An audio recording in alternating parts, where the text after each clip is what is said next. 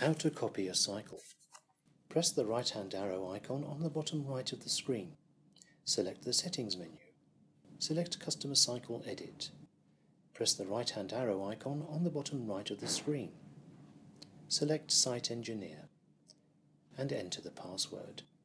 The default password for Site Engineer is six threes, confirmed by selecting the tick icon. Using the up and down arrows, select the cycle you wish to copy. Here we are selecting the solid waste cycle. Open the cycle using the folder icon on the bottom left of the screen. Using the down arrow, move the red highlight to an empty space. Touch the cycle title at the top of the screen and rename the cycle as required. Here we will call the new cycle 4 solid waste. Use the shift and backspace icons as required.